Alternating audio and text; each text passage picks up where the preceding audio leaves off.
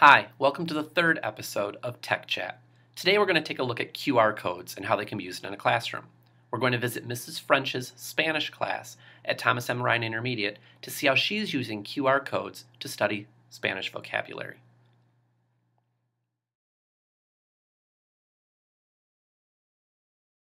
A QR code is something that the kids are able to scan and it directs them to a link. Um, the ones that I did directed the kids to different pictures of words that we were learning.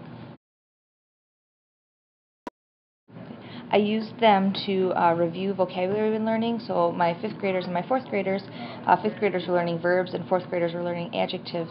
So I found a bunch of pictures online, and then they'd go around and scan them, be directed to a picture, and then they had to write the um, word in Spanish of the picture that they found.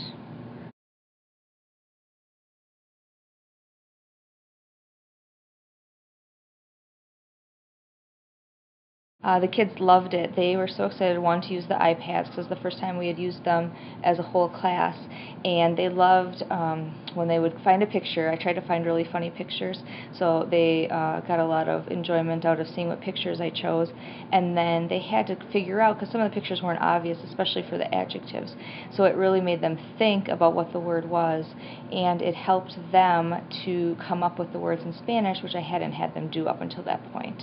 It also really helped me me see which words the kids were still struggling with because when they had to come ask me for help, I made a note of that, and then I could, you know, say, oh, I had to go back and teach this word because a lot of the kids weren't sure of that one.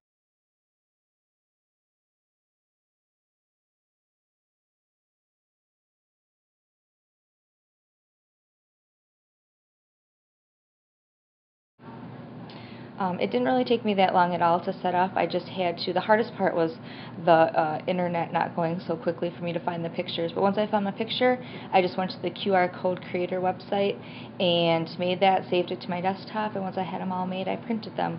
So the whole process probably only took me maybe 15 20 minutes per class.